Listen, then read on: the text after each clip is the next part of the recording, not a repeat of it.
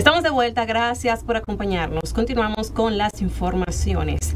La medida de coerción contra Natalia Kasinova, una ciudadana ucraniana acusada de cometer actos de tortura y barbarie en prejuicio de su expareja, el dominicano, fue aplazada para el día 20 de julio a las 9 de la mañana, según la decisión del juez del juzgado de atención permanente del Distrito Nacional. El magistrado Rigoberto Sena tomó la decisión de aplazar la medida para que los abogados de la imputada puedan preparar los medios de defensa. Casanova comentó y cometió la acción contra Miguel Ángel Linares, de 23 años de edad, el 23 de mayo del año 2022, en la que Torre Ibiza de la autopista 30 de mayo del mismo sector, según informó las autoridades.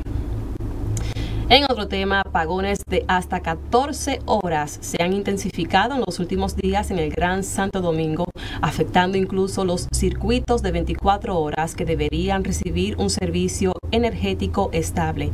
En sectores de Santo Domingo Este como Brisa Oriental, sus residentes reportaron apagones de más de 14 horas, lo que les mantiene en estado de desesperación.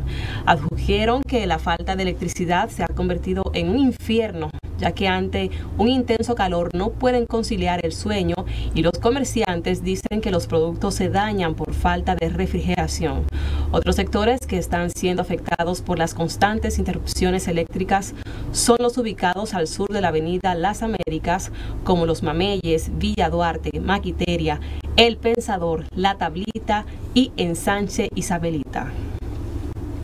En otra información, el pastor Javier Paulino hizo un llamado al Ministerio Público y demás organismos que componen la sociedad dominicana a que realice un trabajo basado en la transformación de la población civil.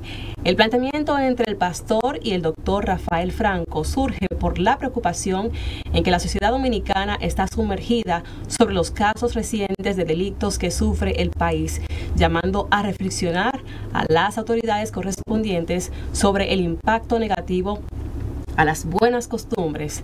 Las declaraciones fueron abordadas, entre otros temas, del análisis Interés Nacional en el programa de actualidad La Noche al Día, que se transmite por este canal a las 8 de la noche de lunes a viernes. Veamos. Que si, si no se castiga al que comete el mal, los demás se van a ver incentivados a hacer lo mismo. Dice la Biblia. Sí, lo van a seguir haciendo. O sea, La Biblia dice cosas buenas, Sí. porque eso es así.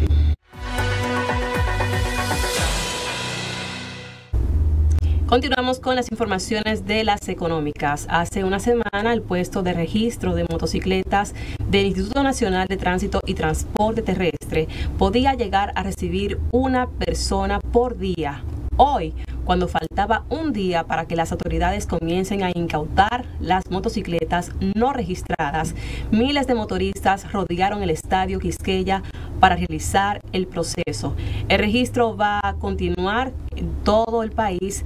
El problema es que a partir del 15 de julio, mañana viernes, no se podrá circular sin este requisito en las provincias del Distrito Nacional, el Gran Santo Domingo, San Cristóbal y San Francisco de Macorís.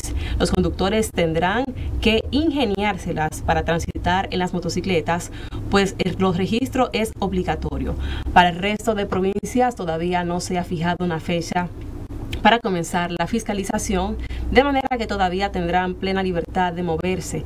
Los puntos están ubicados en todo el territorio, como es el caso de Santiago, San Cristóbal, San Francisco, La Romana, Cebicos, La Vega, Santo Domingo Este y el Distrito Nacional. En otra información, el director general de Impuestos Internos, Luis Valdés, expresó hoy que la implementación de nuevos impuestos a las plataformas digitales no viene a agravar a los consumidores y que por tal razón el anteproyecto de reglamento está siendo discutido. Valdés explicó que con la aplicación del gravamen se pretende recaudar unos 3 mil millones de pesos de manera paulatina, incluyendo todos los servicios digitales brindados por Amazon, Expedia, Google, Netflix, Spotify, Didi, Uber, entre otros. El director de la Dirección General de Impuestos puntualizó que no es solo la República Dominicana que, que se aplicarán los impuestos a esos servicios digitales, sino también en el mundo de las multinacionales. En las internacionales, Ivana Trump, la primera esposa del expresidente estadounidense Donald Trump y madre de sus tres hijos, ha fallecido a los 73 años de edad, según comunicó este jueves el magnate a través de sus redes sociales. La familia Trump confirmó la noticia en un comunicado. Los Trump era una pareja de poder publicitario de Nueva York en las décadas de los 80 y 90, antes de su igualmente público y complicado divorcio, después de que Donald Trump conociera a su próxima esposa, Marla Maples. En otra información, el Papa ha nombrado a tres mujeres como miembros del distasterio, Ministerio para los Obispos, por una disposición de línea con la intención de Francisco de dar mayor visibilidad y liderazgo a las mujeres en la estructura interna de la Iglesia, informó hoy el Vaticano.